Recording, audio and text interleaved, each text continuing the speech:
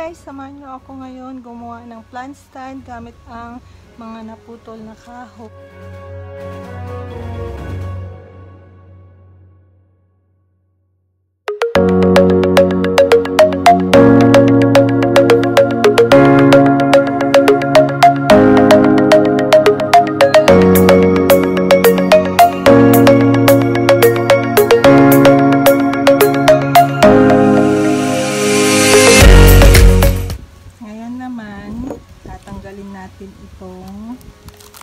Niya.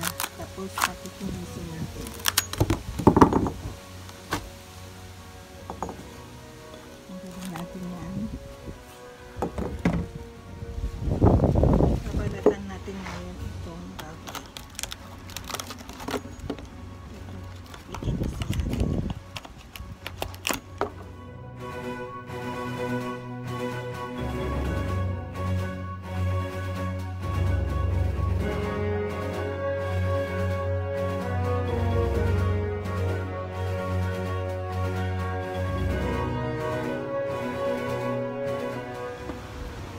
Ayan, ito na ang ating finished product.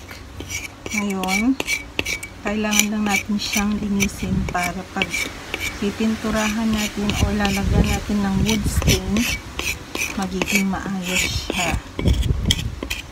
Diba? Linisin lang natin yung, tanggalin lang natin yung mga ah, nakasabit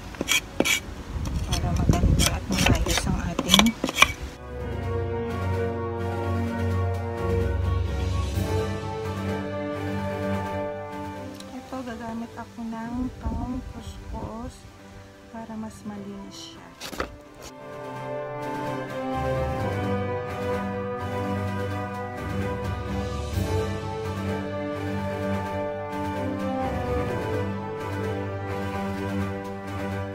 Ngayon, mag-start na tayong mag-paint. Ang ginamit ko is like cream.